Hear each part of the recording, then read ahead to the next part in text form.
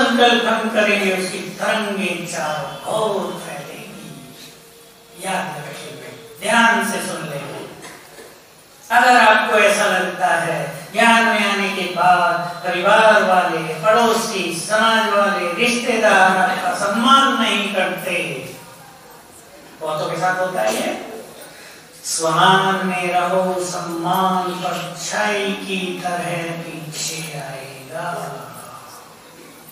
Repeat करेंगे। स्वमान में रहो तो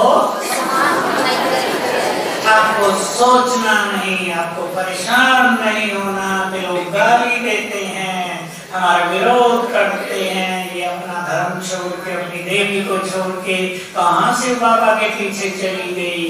बहुत बुरा बुरा बोलते हैं लोग।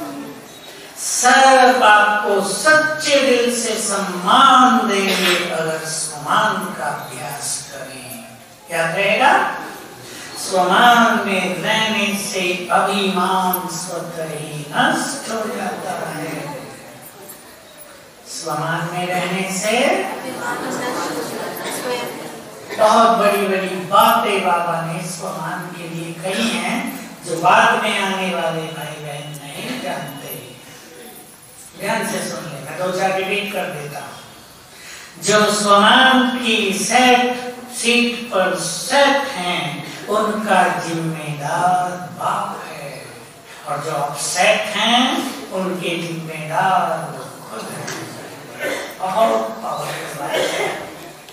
स्वमान में रहो, आपकी ज़िम्मेदारी बाबा संभालेगा आपकी नहीं, आपके परिवार की।